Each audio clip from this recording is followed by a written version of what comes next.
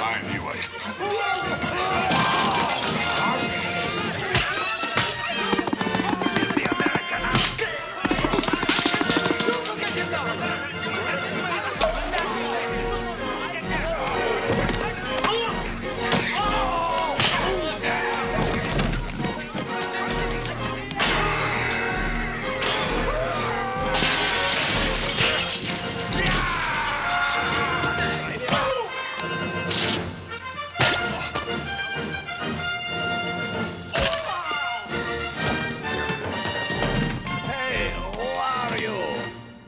I'm Lieutenant Frank Drebin, Police Squad.